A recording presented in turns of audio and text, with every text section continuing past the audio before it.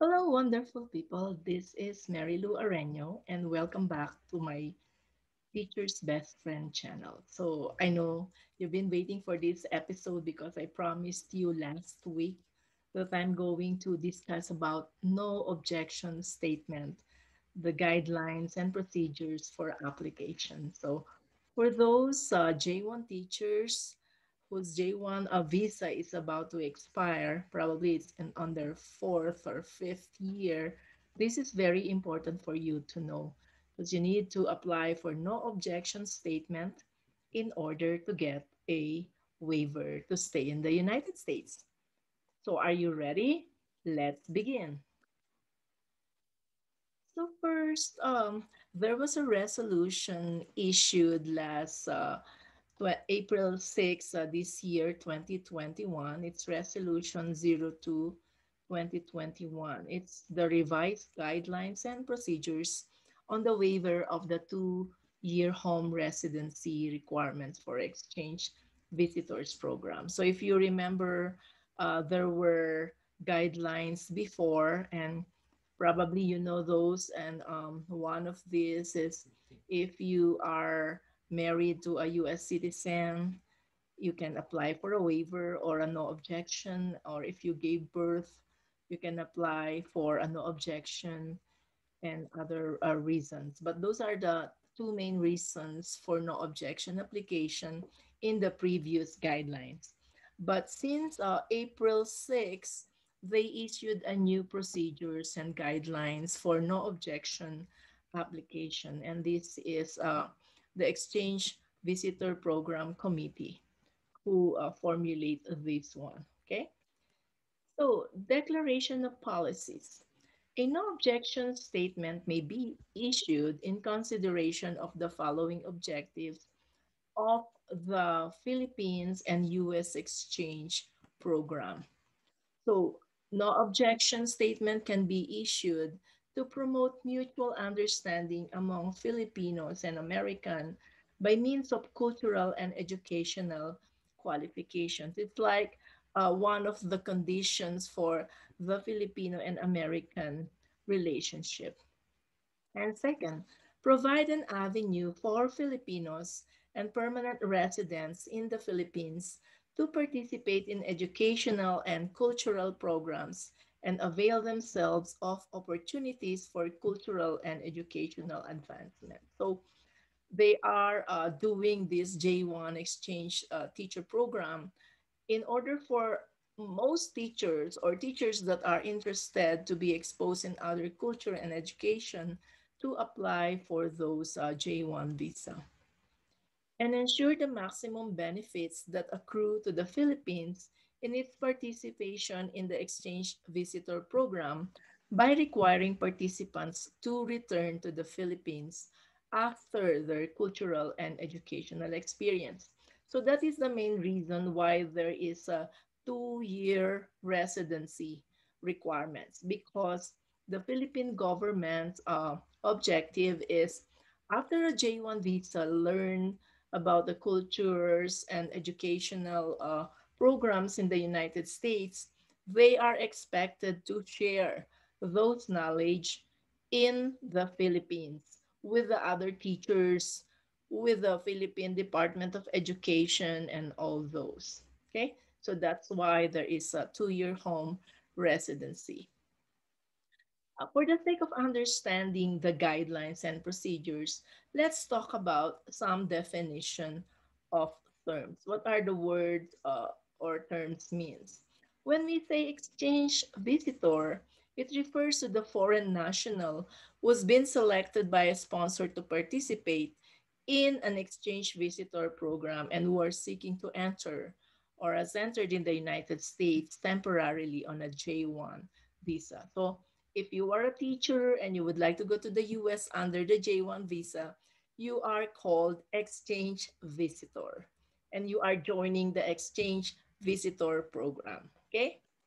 So exchange visitor program refers to the international program administered by the US to implement the mutual education and cultural exchange. So this is not just for the Philippine government. they also offer J1 to other countries. This, the purpose of this is the US would like to have a mutual relationship or understanding by accepting teachers from other countries to immerse themselves with the culture and education in the United States so that in return they can go back and help their home country. Okay, so that is the exchange visitor program. And uh, they also mentioned about exchange visitor skills list. So if we are going to find out and research about the skills list, these are the jobs uh, designated by the U.S. Secretary of State on April uh, 1972 as amended and those countries which clearly require the services of persons engaged in one or more of such fields. So any alien who is a national resident of one of those countries and obtain an exchange visitor became a participant in the visitor involving designated field of specialized knowledge. So sometimes when you go for a visa interview, they will stamp your passport with subject to 212E rule. It means you need to go back and uh, or apply for no objection. But there are those teachers, uh, they're lucky enough that in their passport, they don't have those subject uh, or two-year home country requirement under 212E rule, which is the two-year home residency. And they talk about the skills list. Before, um, the math teachers, the special ed teachers, these are subject to 212E because they're, they are specialized in certain fields. Uh, even science and like physics teachers, chemistry teachers, those are considered skills list or special skills under the special skills list. But if a teacher is under the general elementary program, they're not supposed to be under the skills list, but there are also elementary teachers that are stamped with 212E. So it means it's still depending on the discretion of the person, you know, giving the visa at the embassy.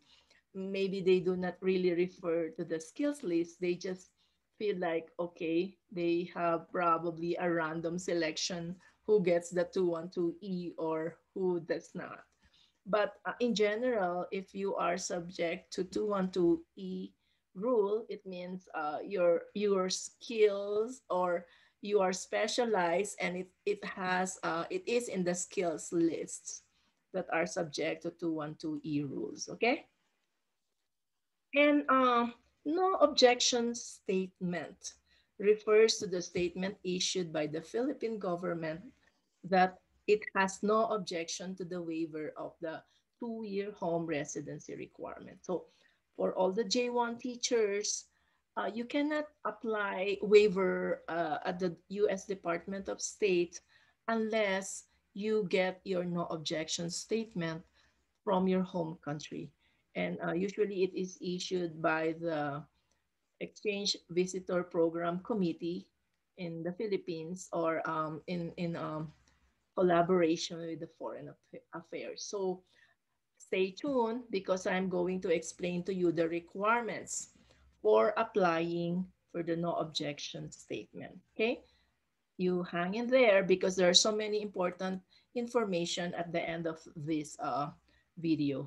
And when we say sponsors, these are the agencies designated by the U.S. Department of State in the United States that can issue a DS 2019. And the DS 2019 is the document you need in order for you to get the J1 visa from the US Embassy. And uh, usually you, you find this list of sponsors from the website of the Bridge USA. So if you're going to look back on my previous uh, blogs or video, you will see I presented J1 visa sponsors. So go back and check the lists or the website where you can find those sponsors. Those are the agency that you needed to get a DS 2019. Two-year home residency, as I explained, if you are stamped with 212E, subject to 212E, you need to go home after your J1 uh, program, which is before it was only three years. And lucky for those that are currently on J1, there is a two-year extension. So that is uh, equivalent to five years of staying in the United States.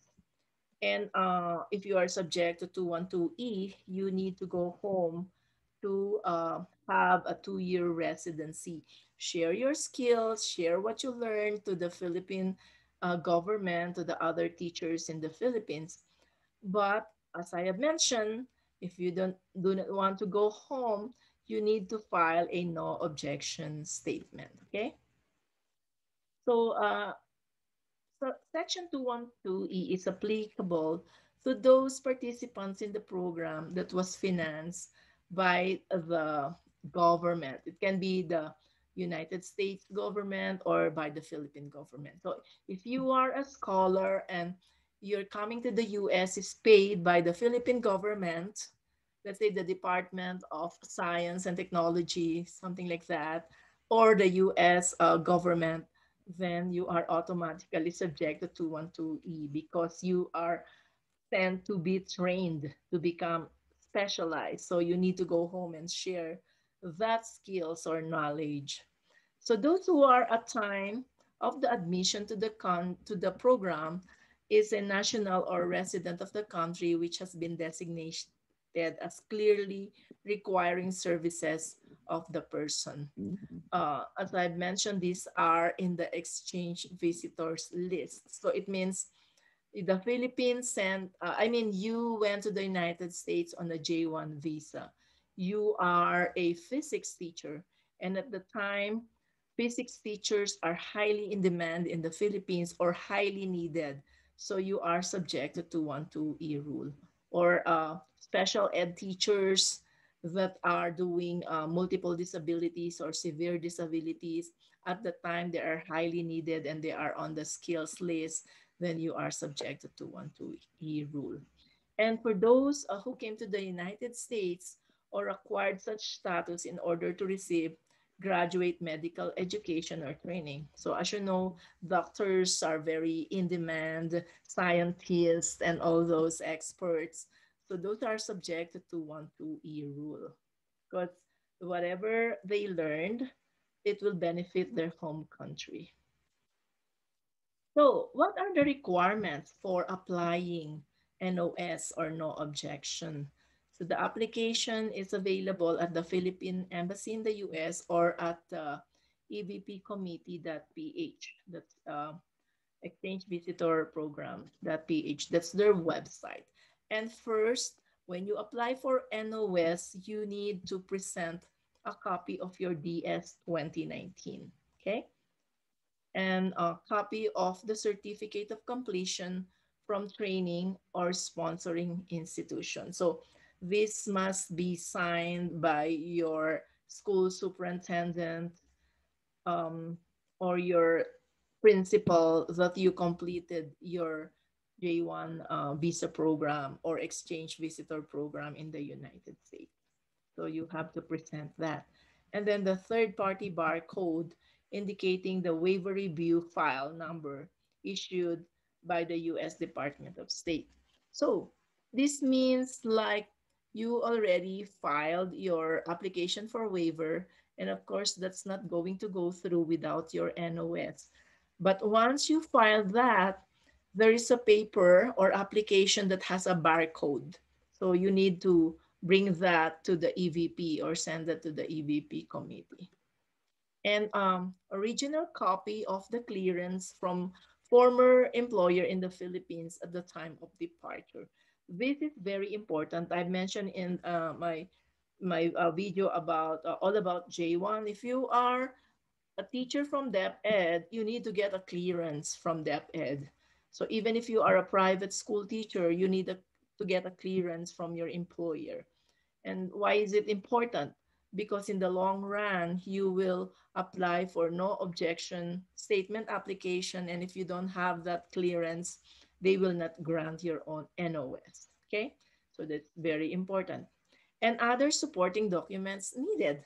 So let's say you marry a US citizen, you need a, a marriage certificate. If you gave birth in the US and you would like to claim that, then you need your uh, birth certificate for your US citizen child or any other pertinent document that you feel can support your NOS application. So it, ha it is uh, up to your discretion, whatever is important, okay? Payment. So there's a fee when you file a an NOS application and um, it's a $125 and you need to remit to the following uh, account name. It says Commission on Filipino Overseas and that's the account number. It's in peso. It's a peso account. So you need to convert $125. I don't know how much. And they have the SWIFT code and um, there is a specific bank. It's the Land Bank of the Philippines in uh, Intramuros, Manila. So you, you need to remit your payment, get your deposit receipt, and you need to present that to the EVP to uh, verify that you paid the application fee of $125. And another important thing that you need to know is if let's say you are submitting um, documents, public documents like birth certificate, marriage certificate um, from the statistics office, you need an apostille. This is like a notary, but it's it's an apostille. Uh, bring it to the U.S. Embassy uh, in the United States or wherever you are, um, and then they will like uh, put an apostille verifying that those are legitimate documents or they are true copies or true uh, original copies. So they put like a red ribbon and a stamp and they call it the apostille. And then private documents and electronic generated US documents must be covered with notarized affidavit prior to apostille certification. So before you go to uh, the embassy, you, a Philippine embassy to get your apostille, you need to notarize. Go to your notary public and they have to put cover on those documents to, to verify that these are uh, documents and electronically generated and they will put an affidavit that they are legitimate and then you bring them to the Philippine embassy in your place and they will put an apostille. And there's also a fee for that. So just, just be ready. Um, fees from different states, uh, embassy may differ. So you need to check the nearest Philippine embassy in your location. And if there are also private documents, may also be notarized, acknowledged, or acknowledged by the Philippine embassy or consulate that has jurisdiction over the place where the issuing authority is located. So if you are, uh, I think if you are residing in, uh, I know Las Vegas, Arizona, you and California, you go to the Philippine Embassy in LA or in California. So they are covered. So you, you go there and they can notarize and put apostille. And that's the time, after you did that, that's the time you can submit the documents to the EVP office in Manila. So what are the basis for the grant of NOS? So this is something to celebrate. If you are granted with NOS, it means uh, the government, the Philippine government has no objection for you to stay in the United States. You can apply for a waiver and change your status. But what are the bases? So first, the EVP committee reserves the right to grant NOS to applicants whose cases may fall under the highly meritorious circumstances. What are these meritorious? Such as, but not limited to, application from researchers or professionals whose continued stay in the US will advance the Philippines' national interests. So it means if you are a scientist, you were sent to the US on a J1 and your continuous training in the US, it will you will gain more knowledge that is beneficial to the Philippines. They will let you stay because when you come back, when you come back, you will share those specialized skills to the Philippine government. So they will let you stay.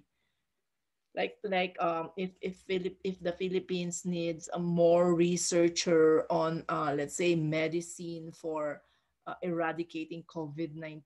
Wow, that is really uh, something that's uh, that's needed in our country. So they will let you stay until you're ready to share that knowledge. So you'll be mm-hmm. given an NOS.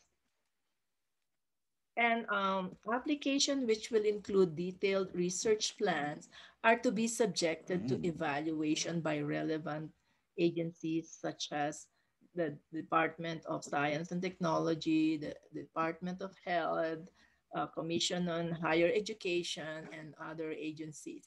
So for those teachers, J1 teachers who would like to submit a research plan to help the Philippine government or to help the Department of Education, uh, or it will benefit students, teachers, and people in the Philippines, those research plan are subject for evaluation.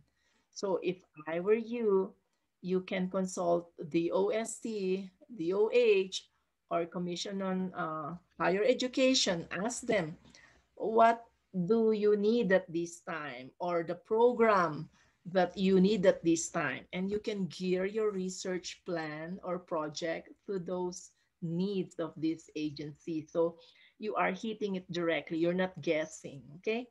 you you can you can do that there's no harm in asking or trying this uh, asking these uh, local government agencies what do you need that i can present to help they're the one approving anyway or something like evaluating the research so the evp committee will determine its decision based on authentic and sufficient supporting documents from evp participants so you need to uh, go back and look at the list that I gave you and make sure those are authentic, those are apostille, notarized, and they are all uh, original and valid. No fake, okay? No fake news.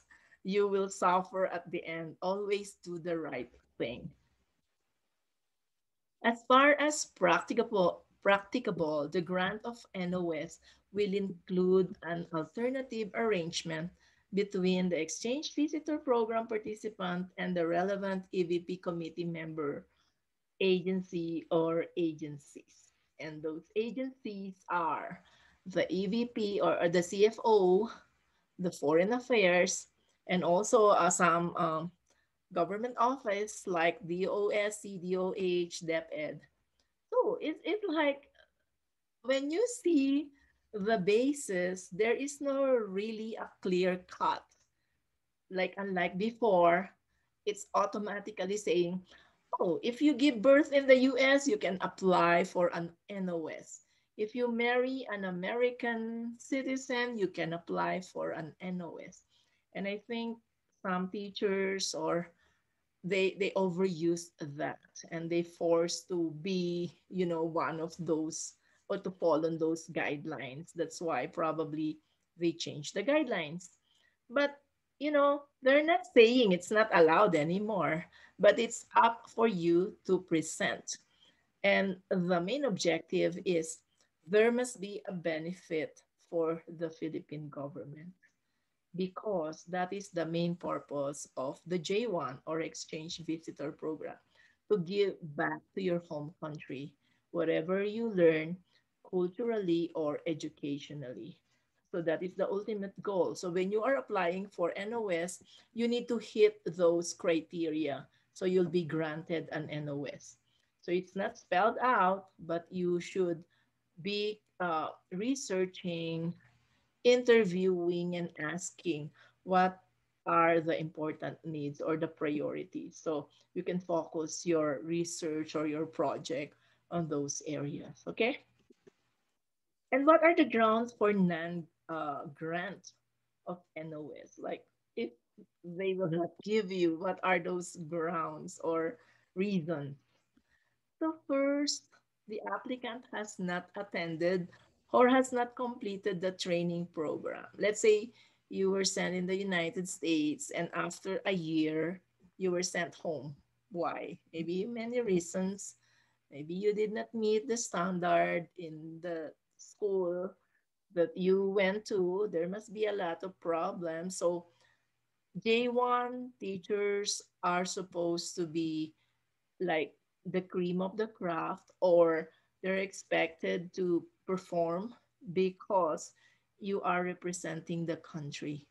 So if you did not meet those standards, your school or your employer may not recommend you for renewal of your visa or your extension. So if you did not complete your program, then you can't get your NOS.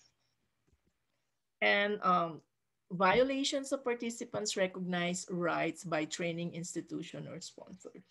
So if it's, it's not only focusing on the teacher, it may be there was a report that your employer is not treating you fairly, so it means they're not following the procedures, then uh, they, the Philippine government will not send you back because it's for your own good.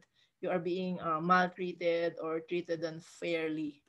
And um, cancellation or suspension of your training, like when they did not renew your, your um, employment there or your program and the participant has outstanding financial and service obligation in any government agency or private institution in the Philippines. So that is the reason why you need to get a clearance from DepEd or from any private schools.